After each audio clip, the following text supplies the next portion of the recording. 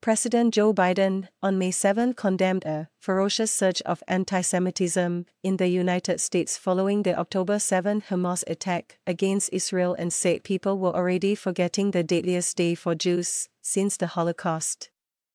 Speaking at the U.S. Holocaust Memorial Museum's Days of Remembrance ceremony, Mr. Biden tied the anti Jewish sentiment that led to the Nazi effort to exterminate Jews directly to the October 7 attack.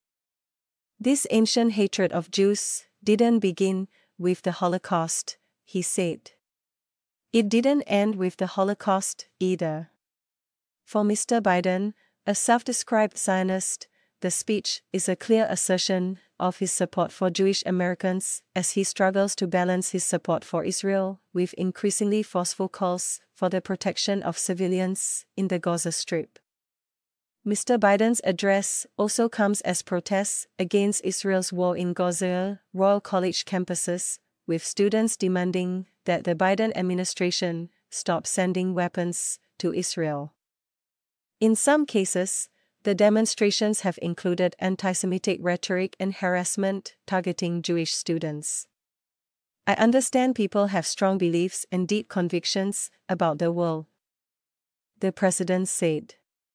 But he added, there is no place on any campus in America, any place in America, for anti Semitism or hate speech or threats of violence of any kind. Mr. Biden also denounced attempts to minimize the Hamas attack, which killed 1,200 people in Israel and sparked a war that has killed an estimated 34,000 in Gaza. Now here we are, not 75 years later, but just seven and a half months later, and people are already forgetting. Mr. Biden said. They are already forgetting that Hamas unleashed this terror.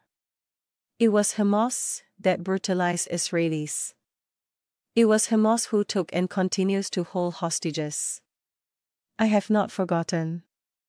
Nor have you, he told a crowd of more than 100, including Holocaust survivors and we will not forget.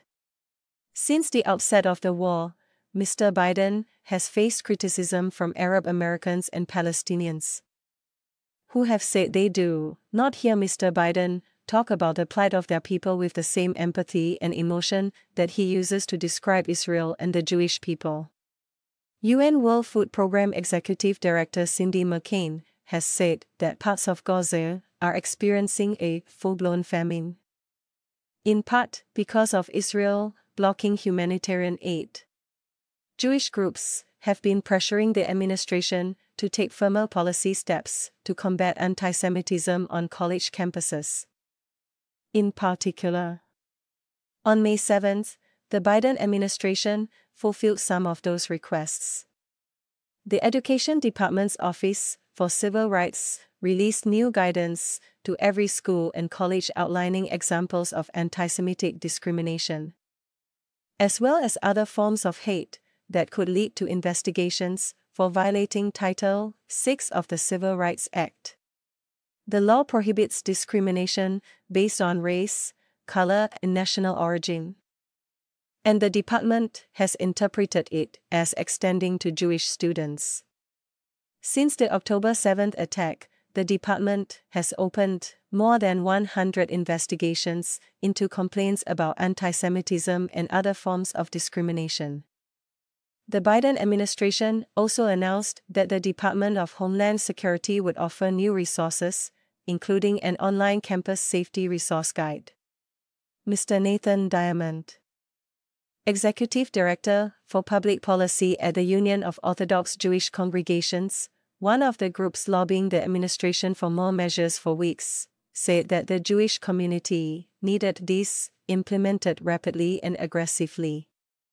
President Biden's speech today was an important statement of moral clarity at a time when too many people seem to be morally confused, Mr. Diament said. Just as important as the president's words today is the announcement that his administration is taking more steps to counter the surge of anti Semitism in the U.S. The president promised that his commitment to the security of Israel and its right to exist as an independent Jewish state is ironclad, even when we disagree, a reference to the arguments that his administration has had with Israel's right wing government about the toll the war is taking in Gaza. The speech came against the backdrop of Israel's plans to move forward with a ground operation in Rafah, which Mr. Biden opposes. More than 1 million Palestinians are sheltering in Rafah. Mr. Biden made a tacit acknowledgement during his speech that the pro Palestinian cause has resonated with other minority groups with histories of violence and oppression. We must give hate no safe harbor against anyone, anyone, Mr. Biden said in his speech, adding that Jewish people had helped lead civil rights causes throughout history. From that experience, we know scapegoating and demonizing any minority is a threat to every minority and the very foundation of our democracy. He said. But Mr. Biden largely focused on the issue at hand. After his address, he stayed to watch three Holocaust survivors who carried photos and mementos as they recounted their memories of loved ones. They invited the audience to stand and raise black and white photos of Holocaust victims that were placed on audience chairs in the air. Mr. Biden held a photo of four children to his chest.